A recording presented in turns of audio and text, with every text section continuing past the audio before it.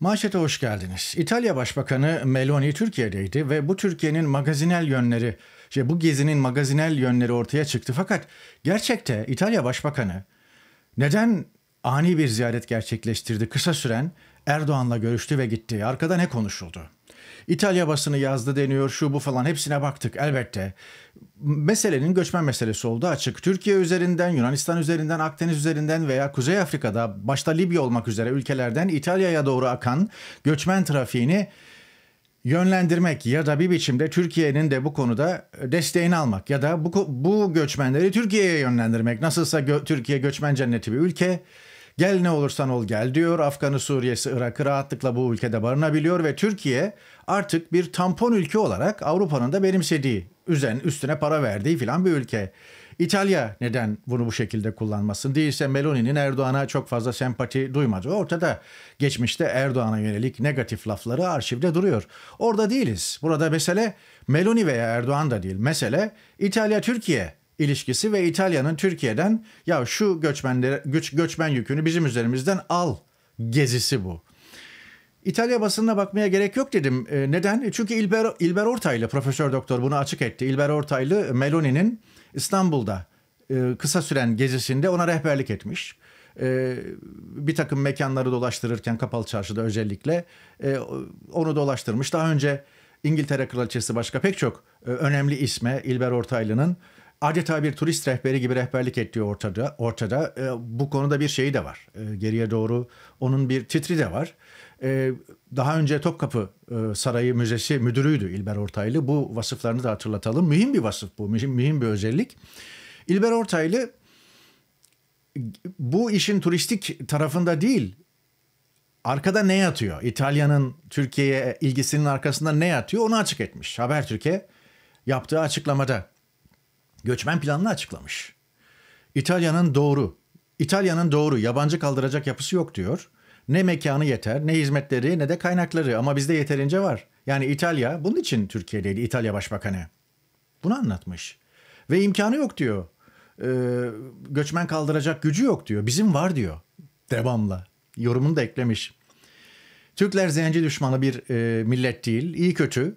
E, işte bir sempatik ilişki var diyor. Buradaki Afrikalılar çok fazla şikayetçi değiller diyor. Afrikalılar da hayatından memnun diyor. Yani Afrikalıları buraya gönderebilirsin, Afrikalıları buraya yönlendirebilirsin demeye getiriyor.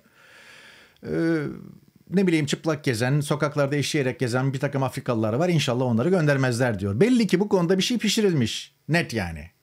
Muhtemelen Libya üzerinden, Kuzey Afrika üzerinden botlarla İtalya'ya akan göçmenleri Türkiye'ye yönlendirmek veya Türkiye'ye göndermek.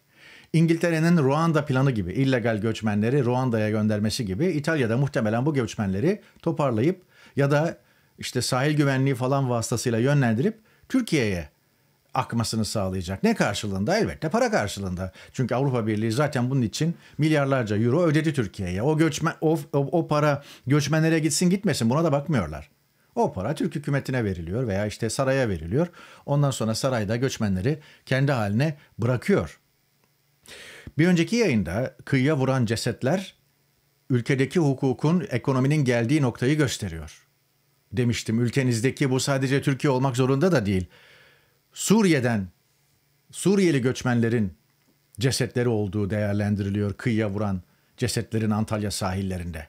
Hürriyet gazetesi de manşete bunu çekmiş. O cesetlerin sırrı çözüldü, rahatlayabiliriz.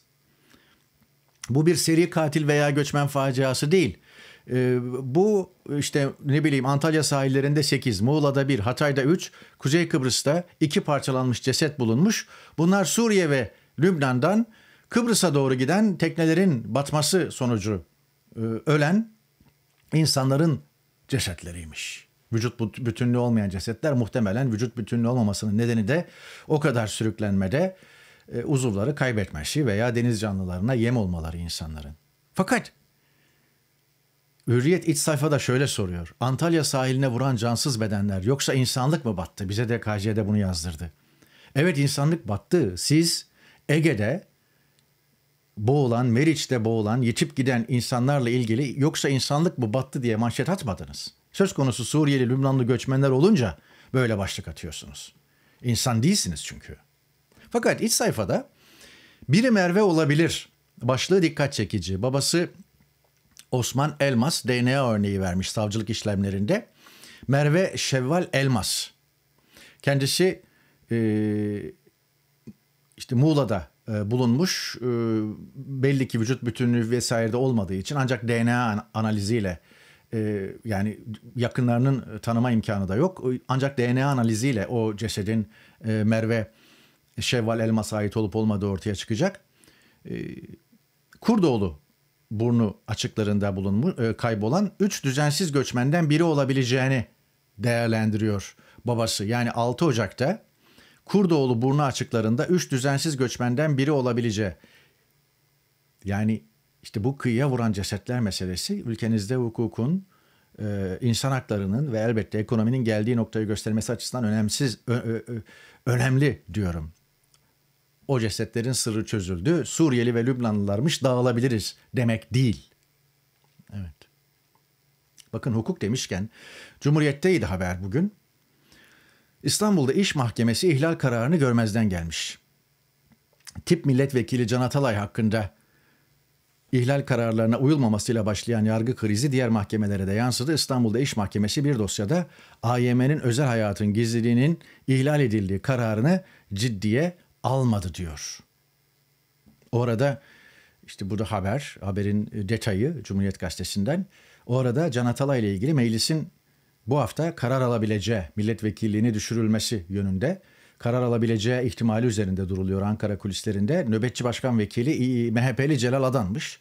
Devlet Bahçeli'nin tutumu ortada. Dolayısıyla Nöbetçi Başkan Vekili Celal Adan yönetimindeki Meclis Genel Kurulu'nda Can Atalay'ın milletvekilliğinin düşürülmesi yarın ya da bu hafta içinde okunabilir deniyor. Evet bu da bir kulis haberi. Can Atalay demişken İzzet Özgenç paylaşmış. Yargıtay üzerinden Anayasa Mahkemesi'nde res çekilmesinin ortaya çıkardığı devlet krizinin çözümü için yapılması gereken kanunu düzenleme ile ilgili olarak siyaseti ikna edemeyen Cumhurbaşkanlığı Yüksek İstişare Kurulu üyelerinin istifa etmeleri onurlu inisiyatif olur. Durmayın artık diyor. Sadece o değil, Emre Kongar paylaşmış Profesör Doktor. Ben muhalefetin yerinde olsam AYM kararları uygulanana kadar seçimleri boykot ederdim. Çünkü iktidarın Anayasa Mahkemesi kararlarına bile uymadığı ortamda sözde yargı güvencesiyle seçim yapmak muhalefet için boynunu giyotinle uzatmak anlamına gelir diyor. Evet artık iş bu noktaya geliyor ama böyle yapacakları yok. Sadece hukuk mu bitti? Yani artık sen vur, öldür, yumrukla ben senin arkandayım dönemi Türkiye'de yaşanıyor. Uzun yıllardır böyle. Aman kendinize mukayyet olun. Haklı olsanız bile darbe edilebilirsiniz. Devlet de saldırganın sırtını sıvazlar derken bunu kastediyorum.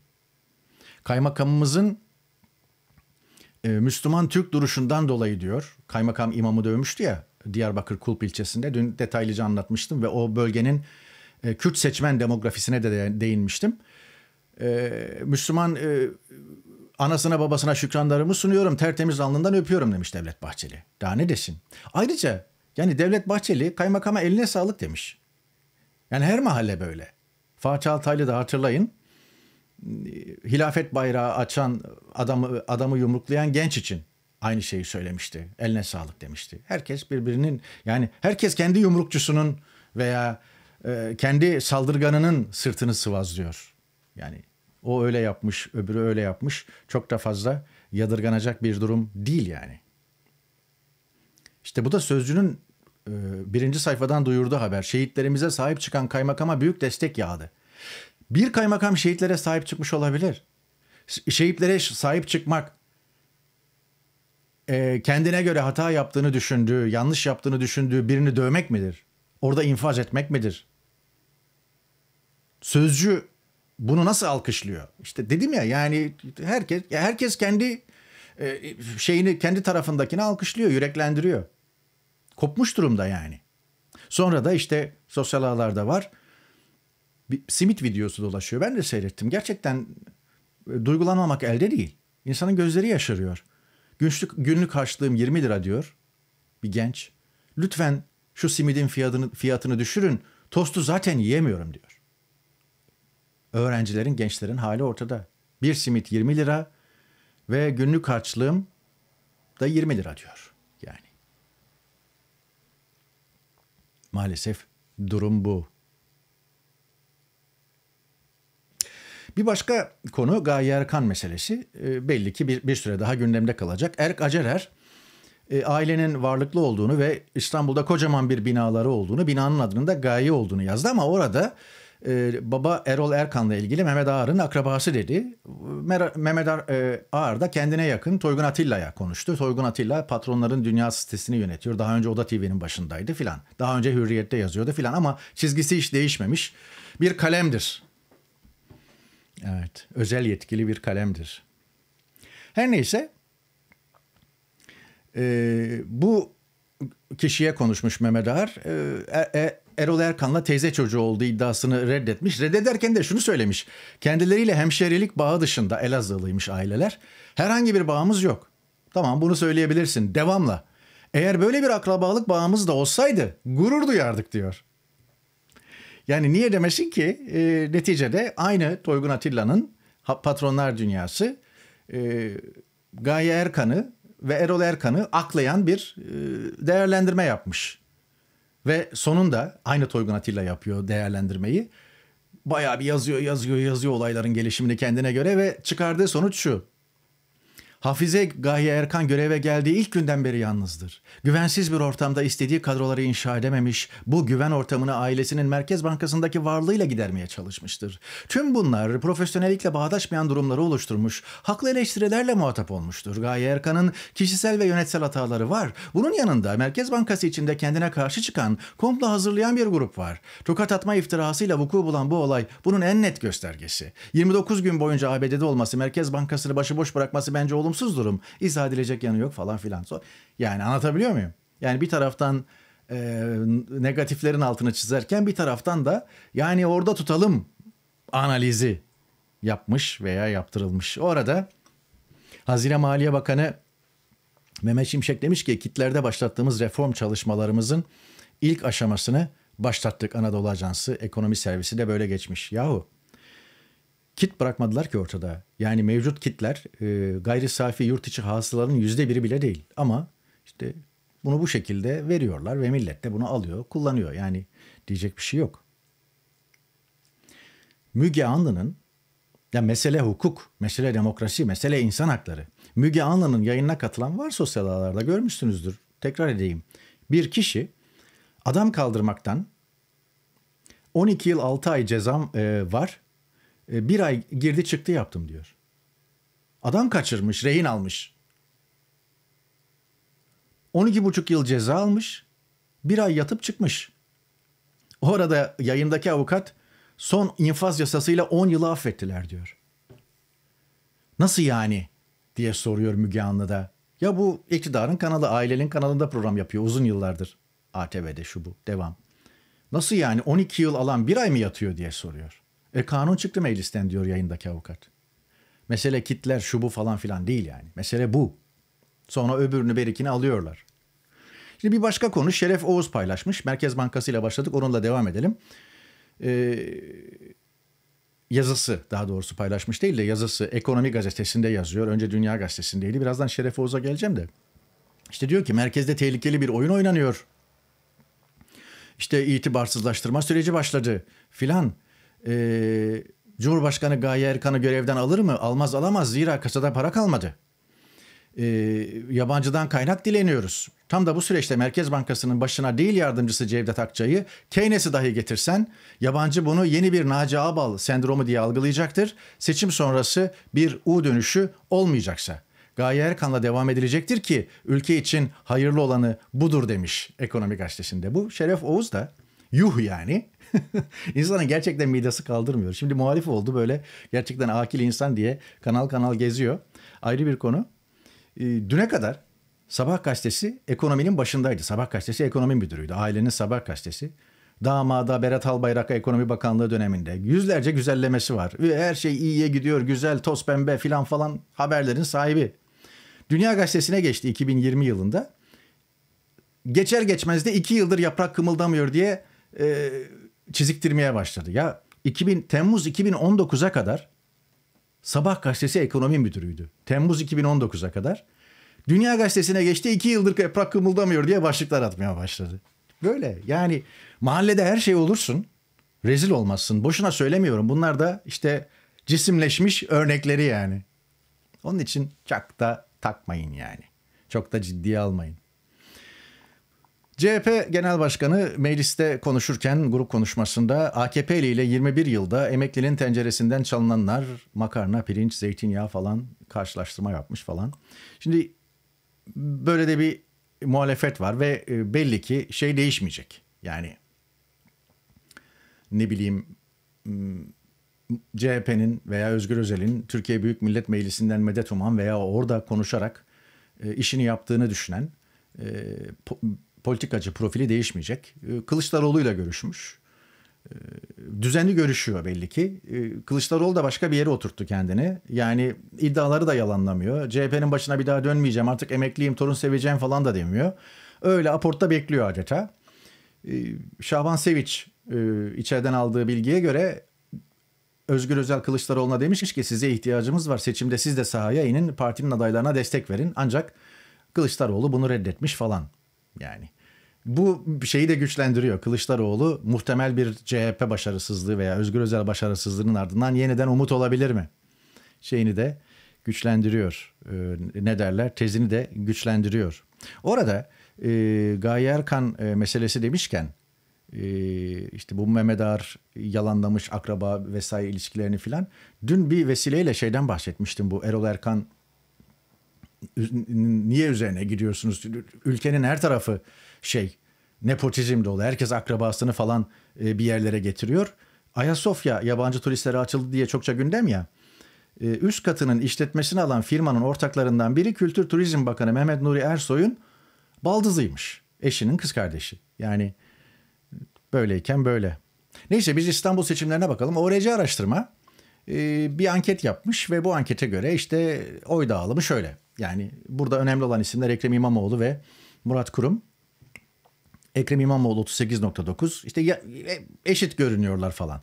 Bir şey atlanıyor. Sadece Kürt seçmen falan meselesi değil.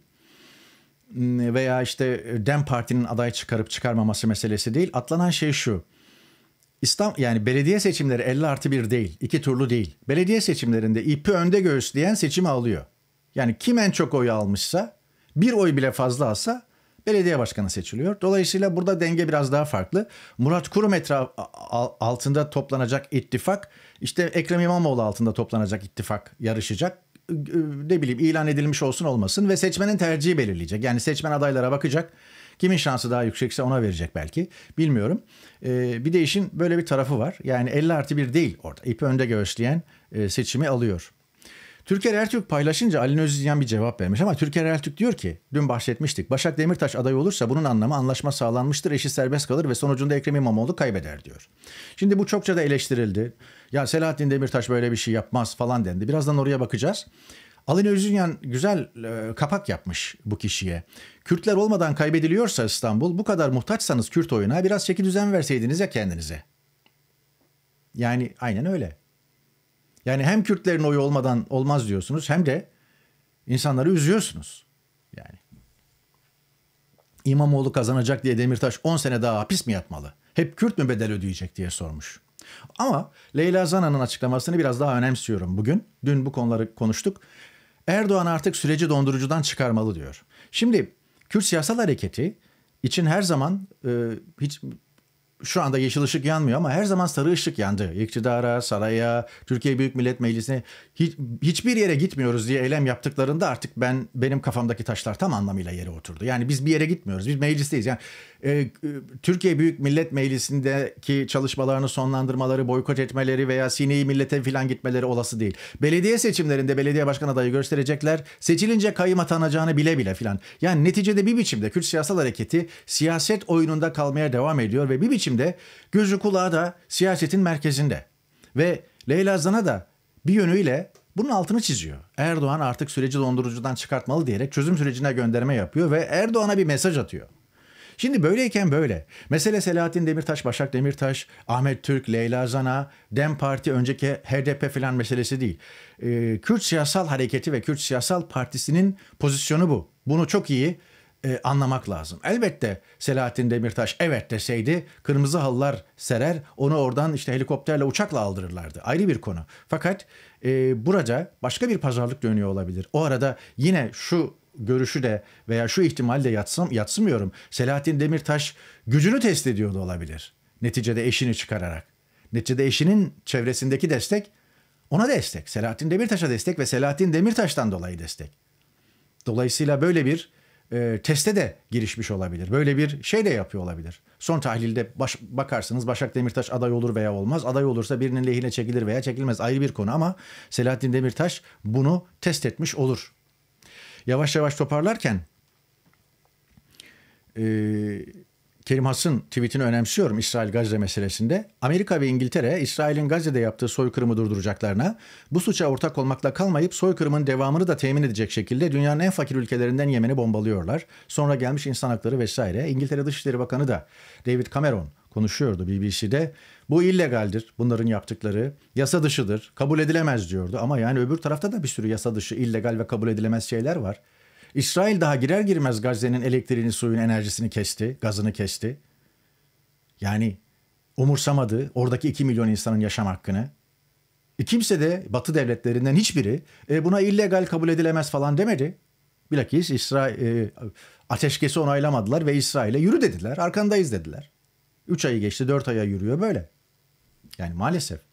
Orada e, Amber'in Zaman'ın özel haberine göre Amerika Suriye'den çıkmanın altyapısını hazırlıyor ve Kürtleri Suriye yönetimiyle anlaşmaya yönlendirme fikri, fikri gündemde diyor. Orta Doğu her zaman duyarlı olmamız gereken bir noktada ama Türkiye içinde deminden beri konuştuğumuz meselelerden doğru kimse kafayı dolayı kimse kafayı kaldırıp etrafına bakamıyor. Ee, Rusya meselesine de Ukrayna meselesine de Kerim Has'la e, bitiriyorum bugün manşeti. Rusya 2023'te dünyanın en büyük nüfusa sahip iki devin Hindistan ve Çin'in bir numaralı petrol tedarikçisi olmuş. Küresel enerji denkleminde taşları yerinden oynatan bir gelişme diyor. Ve haberin kaynağını da paylaşmış. Bitti bitecek gitti gidiyor denen Putin iki yıl sonra Ukrayna Savaşı'nın ikinci yılı dolarken Hindistan ve Çin'le yaptığı bu anlaşma geldiği bu nokta son derece önemli. Evet, etrafınıza bakarken biraz da küresel dengeler noktayı nazarından bat, e, bakın. Yoksa insanlık mı battı? Evet insanlık her yerde battı. Bu sizin kıyılarınıza vuran cesetlerle de ortada, simit için ağlayan genç öğrenciyle de ortada, Rusya'daki, Rusya'nın Ukrayna'da, özellikle Ukrayna'da yaşanan dramla da ortada, İsrail-Gazze meselesiyle de ortada, hemen her açıdan ortada. Çarşamba manşet yok, perşembe tekrar buluşmak umuduyla.